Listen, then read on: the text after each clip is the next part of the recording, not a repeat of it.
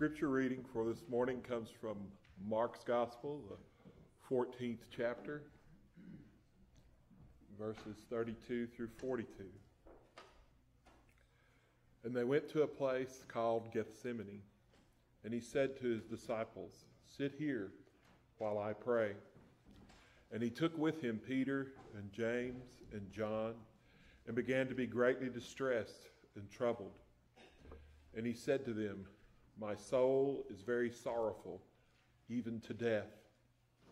Remain here and watch. And going a little farther, he fell on the ground and prayed that if it were possible, the hour might pass from him. And he said, Abba, Father, all things are possible for you.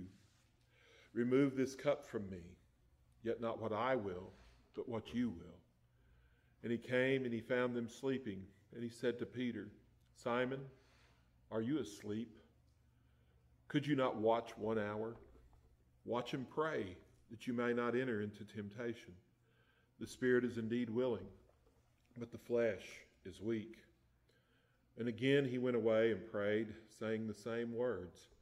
And again he came and he found them sleeping, for their eyes were very heavy, and they did not know what to answer him. And he came the third time and said to them, Are you still sleeping and taking your rest? It is enough. The hour has come. The Son of Man is betrayed into the hands of sinners. Rise, let us be going. See, my betrayer is at hand. Lord, we come and we humbly bow before your word. May we take it into our hearts. Use your spirit to speak to us, that your words would come in and transform us through the power of that spirit. In Christ's name, amen. Um, this passage is set in the context of everything that happened at the Passover meal that we talked about last week. You remember that? Jesus there, he changes the liturgy, he establishes a new covenant. He broke the bread, and instead of saying the traditional blessing that was with the Passover meal, he said, Take, eat. This is my body. In other words, he's saying, I am the Passover lamb. I am the Passover lamb. And then he breaks the uh, tradition of the Passover meal, the Passover liturgy again, when he says, This is my blood. He takes the cup and he says, This is my blood, which is uh, the blood of the new covenant, which is poured out for many.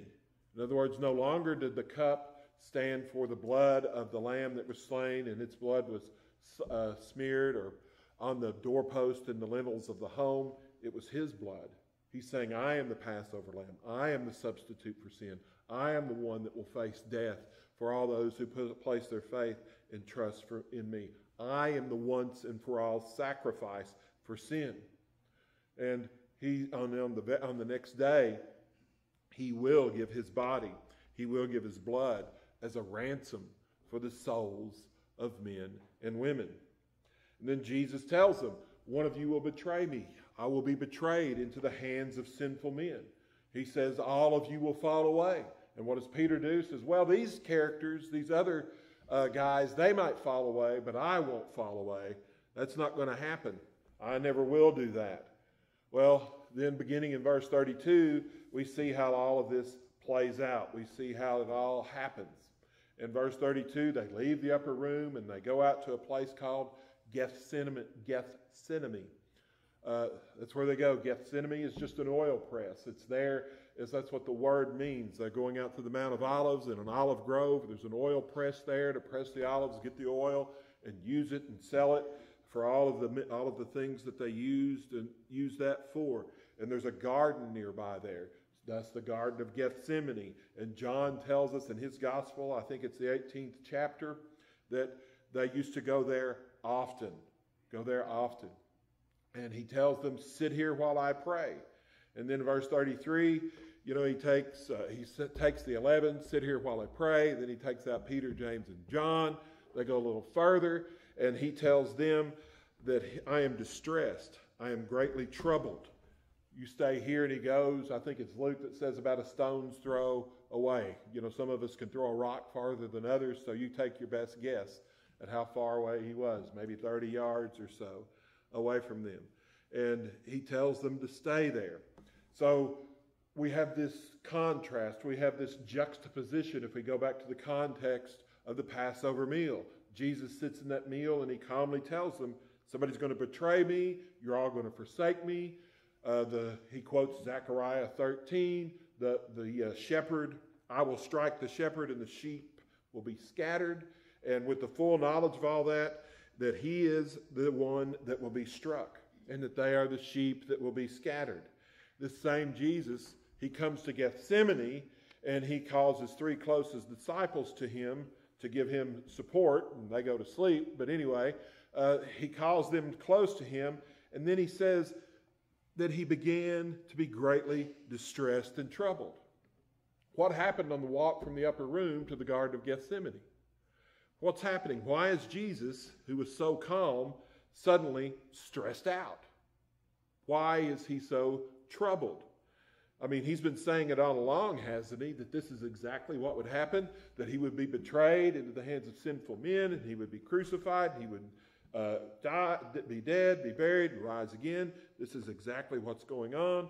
So why is he so upset if he knows the plan? And isn't he God? I mean, he's God in human flesh. Shouldn't he just be calm and cool in the face of all this? Why so much drama, Jesus? What's going on? And I think we can understand it better if we look at it in light of the last time Jesus took Peter, James, and John with him on a field trip. You remember when that was? Way back 100,000 years ago in Mark chapter 9. They went up to the Mount of Transfiguration, and there, there Peter, James, and John got a glimpse of his deity. And now they got, he takes them to the garden, and they don't see his deity.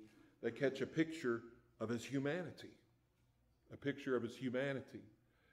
Uh, and there are lots of pictures of Jesus given to us in the Gospels, aren't there? There's pictures of Jesus taking the children in his arms and blessing them, Jesus on the donkey riding into Jerusalem while people shout the Psalms of Ascent to him Blessed is he who comes in the name of the Lord, Hosanna in the highest. There's the picture of him as he cleanses the temple and he overturns the uh, money changers' tables and he says to them, my father's house is a house of prayer, but you've made it a den of thieves, a den of robbers. And then there's the most recent picture that we have of Jesus, if you will, serving communion in the upper room. But none of those pictures come close to what we see here. Nothing comes close to it. We're introduced to a Jesus that's in distress. And let's be sure, he's uh, this isn't taking him by surprise. You know, he knows it. He knows that he is the one that will uh, die in the place of sinners. And we see, because he says it plainly in John's gospel, he says, For this purpose have I come to this hour. This is why I'm here. And he has consistently uh, repeated the divine necessity of his suffering. And now he's faced, though, with the imminent prospect of the ordeal. And I thought about that and it's probably a bad comparison, but it, it's kind of like facing surgery. Kind of like facing surgery in a way. A lot of you've had the experience, you know, the date is set. You know it's coming, but it's it's down the road. and you don't think about it. Then you have to go to pre-op and to remind you of what's going on.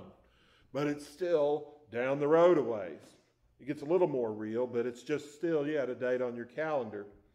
But then the time comes, and it's the night before, and it's a little bit hard to sleep. You wake up the next morning, and your mouth's dry, and they won't let you drink anything. you know, you you're uh, you got have that cotton mouth, and uh, your heart might beat a little faster, and and the point is, is there's a big difference between knowing it's coming and then when it arrives. There's a big difference. And that's what's changed for Jesus. But we still ask ourselves, well, he's, he's God. He's God in human flesh. Uh, shouldn't he have faced this hour in his life differently, more calmly? I mean, we know people that face uh, their deaths more calmly. Why can't Jesus do this more calmly? Why so distressed? Why so troubled? Well, here's where you're going to have to need to understand just a little bit. I promise it's just a little bit. When people hear these two words together, systematic and theology, their brain just clicks off and think, I can't think that way. But yeah, you can. You guys are intelligent folks. You can do that. And I promise it's just a little bit. Okay? Because if we're going to get a fuller grasp of this picture, that it's got to be in HD, if you will. We have to understand who Jesus is a little more clearly. We have to grasp his deity and his humanity. And it's vitally important that we do this because every heresy within the church, and in, even to this day, but and in the early church, swirls around the deity and the humanity of Christ. How do you define that? If you swing too far over to his deity, you fall into some to, to heresies, and if you swing too far over to his humanity, there are other heresies that come up. And and then there are people who try to put them those two things into blender and mix them up. And if you do that, that's heresy as well. And if you know your uh, any systematic theology at all, all you have to do is watch the Trinity Broadcasting Network, and the heresies flow forth on cable TV. So we have to understand these things. Uh, now, you can rest assured, you can be calm that I'm not going to talk about every heresy or every ism, Docetism, Gnosticism, or all those other $64 words that I had to learn in seminary. But we're just going to spend a few minutes. We're going to try to get to the conclusion of it. Just for a moment, we're going to see what the theologians of the early church, what the conclusions were that they came to about Christ. And let's remind ourselves, first of all, that the scriptures are clear. The Bible is clear. God in Jesus Christ became a man. The Creator became the created. The eternal one entered into time. The Word became flesh and dwelt among us. The infinite became finite. The visible, the invisible became visible. And that's what's happening here. And if you have trouble understanding that, you're in good company. Okay? You're in very good company. The company of the apostles, the company of the fathers and founders of the early church. It took them over 400 years to come to some sort of conclusion on all of this. It wasn't until the council of what's called the Council of Chalcedon in 451 that they made some definitive statements about the deity of Christ and the humanity of Christ. Okay, so here we go. They said that Jesus, as God incarnate, as God in human flesh, it did not re- relinquish his deity. In other words, instead, he added to it. In other words, what they were wrestling with and what we're wrestling with this morning is this Jesus of Nazareth has, uh, was, in fact, one person with two natures within him a divine nature and a human nature. He's very God and he's very man. And they said that he was so unchangeably, indivisibly, and inseparably. Now, before your eyes completely glaze over, what does that mean? Right? It means that in the person of Jesus, there are two perfect and distinct natures, and they are inseparably joined together. That's, that's the indivisible part or inseparable part, inseparably joined together. The divine is not changed into the human, and the human is not transformed into the divine. Into the divine. And the divine and the human aren't somehow mixed together to form some sort of a third entity. Jesus is not a hybrid. He's not a Prius. Okay? It's not, it's not that kind of thing. The two natures are not, they said, mixed with one another. And this sort of thinking happens all the time if you think about it in terms of electricity. And I don't know a lot about electricity. You know, they have the AC and the DC. And no, Sean, I'm not talking about the rock band, AC, DC. We're talking about currents here, you know. And some people act as if, uh, oh, when this happened, that's Jesus was acting in his divine nature. And then, boom, oh, when that happened, he was acting in his human nature, as if he flips a switch between the two currents. He doesn't do that. He never does that. Packer says Jesus lived his divine and human life in and through his human mind and body at every point. He did and endured everything, including his suffering on the cross, in the unity of his divine and human person. Now, if you go through all that, you're like me, you go, Sometimes I think I understand this, and then I'm standing here right now, I'm going, I'm not sure if I understand this. Okay? I'm being honest with you. But I am greatly helped when I read the Apostle Paul in 1 Timothy chapter 3, verse 16, and he exclaims there, Great indeed, we confess, is the mystery, the mystery of godliness.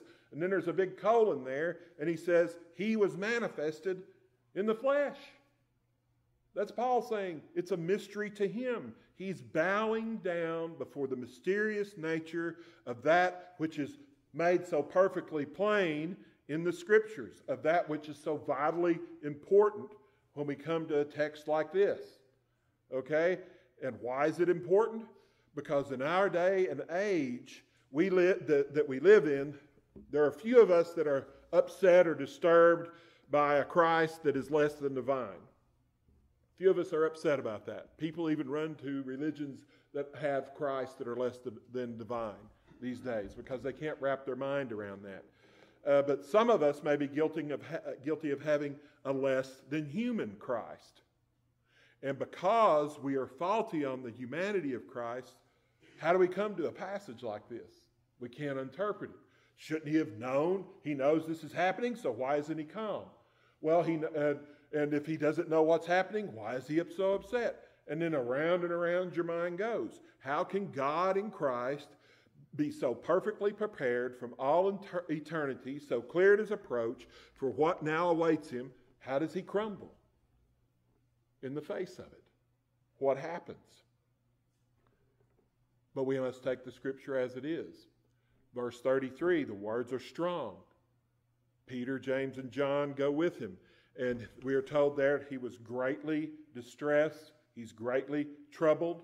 Distress signifies someone that is in a shuddering horror, is what it means in the, in the Greek. And the word translated trouble could easily be translated as anguish, the Greek scholars tell us. It's an anguish from which he cannot escape. It's an anguish when he, in which he has no help. They're sleeping. He has no comfort. Then Jesus says to the disciples, My soul is sorrowful unto death. Watch and pray. Don't nap and snooze. Watch and pray. But what do they do? They nap and they snooze. So, what we have here, I think, is Jesus in his perfect humanity swallowed up by the emotion of everything that's before him. Peterson, in his paraphrase, I think it's called The Message, in his pa- paraphrase says that Jesus is plunged into a sinkhole of dreadful agony. A sinkhole of dreadful agony. Now, think about it. Think about what the Gospels tell us. We know that it's cold. It's a cold evening because what is Peter doing when he's denying? He's standing by a fire in the courtyard of the high priest. So it's cold enough that evening to have a fire. So, on a night that's that cold, uh, Luke tells us, with the observation of a physician, Luke was a physician, he tells us that the agony of the experience was so great that Jesus' sweat appeared like drops of blood. Appeared like drops of blood. The capillaries in his forehead actually burst from the strain. They burst from the strain. If we learn anything from this, we learn that Jesus was a flesh and blood human being, just like you and me. And that's why he sought to remove himself. He knew what was going on with the crucifixion. When somebody was crucified, he knew the humiliation, he knew the suffering, he knew the horror. If you've ever seen the movie The Passion of the Christ, I watched it and I wanted to hide my eyes from what happened in that movie. The horror of it all, the brutality, the cruelty behind a crucifixion. And there was nothing in Christ that would keep him from experiencing all of these emotions that would come at a time like this. He faced them to their fullest extent, he felt them with the entirety of his being. John, uh, Mark 10 45 tells us that he came to give his life as a ransom for many. And I think here in Gethsemane, he makes the first installment on the payment of that ransom, to will to become the sin bearer for his people. Here in Gethsemane, he surrenders to the terrible agony. He surrenders to the terrible agony that's in front of him. It's one thing, as fearful as it would be, for you and I to stand before a holy God and answer for our own sins. That would be horrible to stand before God and answer for our sins on our own. But who here among us can imagine what it would be like to stand before God and answer for every crime, every hateful word, every act of malice, every injury, every evil in the entire world for every person? That's what Jesus is facing. That's what he is facing. Verse 35 And going a little further, he fell on the ground and prayed if it were possible that this cup might pass from him. As we've gone through Mark's gospel, we've seen people running up to Jesus and falling on their face, some of them praising him and thanking them for healing, some of them asking for healing. In all of these situations, Peter and James and John fell on their face uh, up on the Mount of Transfiguration when God the Father spoke from heaven. This is the only time, however, in all of Scripture that we find Jesus prostrating himself in humility before God the Father. And as he lay face down on the ground. He says, he prays, Abba, Father, all things are possible for you. Remove this cup from me. Yet not what I will, but what you will. Here again, we see Jesus' nature. He staggers under the weight of what's in front of him. Father, is there any way? Any way we other way we can do this? Is there any possible way that this cup can pass? And this isn't some sort of detached prayer. Jesus is not indifferent to circumstances here. He's not sitting there enveloped in some envelope of peace or and, and saying all of this is, is good. Uh, there is an interplay here between the heart of Jesus Christ and the will of the Father. Jesus' prayer does not rise from some sort of calm resignation. Instead, it comes from the frightening reality of God's will and what it will mean for him to surrender to it. And the fundamental humanity of the prayer, I think, is seen when Jesus says, Take this cup from me. Take it away from me. I don't want to face this. He's not talking about a cup of sadness and sorrow and distress. And the image of the cup, as found in the Old Testament, is the, is the cup of God's wrath. That's what we spoke of before the cup of God's wrath. God's judgment upon sin was being set before the Son of God. Father, is there another way? I'll go to the cross. I'll lay down my life. I'll pour out my blood. I can handle the cross and the wrath of the Romans, the wrath of the religious leaders uh, against, uh, but to have to face your unmingled, unmitigated wrath, Father, against sin. Do I have to experience that? Do I have to go through you turning your face away from me? But he's not finished praying yet. He ended with, Yet not what I will, but what you will. Everything in his human nature wanted to run from the cup of God's wrath. He didn't want to drink it. But there would be uh, one thing that was even worse, and that would be to fail to do God's will. If it's your will, Lord, I'll drink this cup. If there's no other way, then give me the cup. I'll drink it to the last dregs. Then verses 39 through 41, Jesus is going back and forth between the place he's praying and the sleeping disciples. He's asking them to watch, but instead they sleep. Despite seeing the obvious distress, I mean, he comes back the capillaries on his head had burst. He's got blood running down his cheeks. They sleep. They sleep. He's sorrowful, even unto death. And this happens three times. Makes me wonder Peter, is this a prelude to your three denials that are coming? Is it? He comes to him this time again. He calls Peter by his old name, Simon. Remember last week we talked about it. Jesus had given him a new name, Peter, rock, that you're rocky. Simon meant shaky. So he's saying, you know, oh, okay, shaky, here you go. You told me that you would never leave me, you'd never forsake me, and here I am, and I need you now. Shaky, you're sleeping when you should be watching and praying. Let's not be too critical because we're like him, aren't we? The spirit is willing, but the flesh is weak. It's a reminder for us all, namely that trusting and obeying God, they're not the default response of Christians, are they? It's not our default response. There's that ongoing struggle between temptation and, and weakness. We like, we're like Peter, we get shaky. We get shaky from time to time. So, what do we need to do? We need to follow Jesus' prescription watch and pray. Watch yourself by being in the Word. Pray and be in relationship to your Father. Watch and pray. Jesus' final words here is it's enough. It's enough. The hour has come.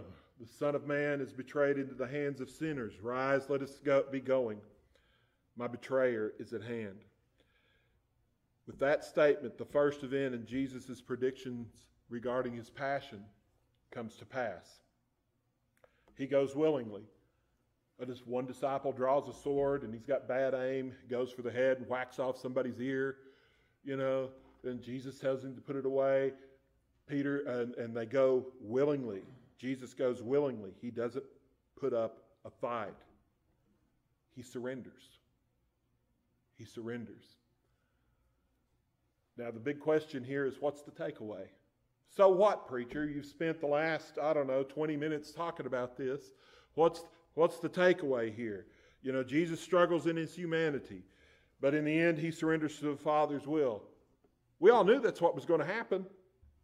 So why are you so up in the air about all this theological stuff? If that's the way we're thinking, it reveals we're just too familiar with this stuff.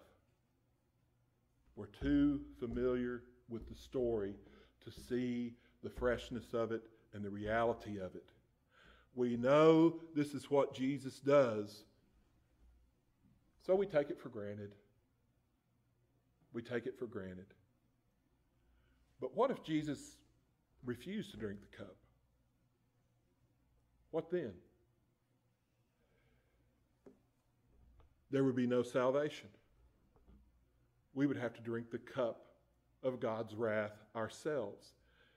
We would be left there to do it and fa- to do that and face the Lord of glory unless Jesus surrenders his soul in Gethsemane. He doesn't surrender his body on Calvary. And surrender, I think, is the key for every one of us. I've heard people over the years say to me, and I've probably said it myself, I'm committed to the cause of Christ. I am committed. And that's wonderful, and I know what they mean, and I'm not trying to belittle anybody who says that because it's a good thing.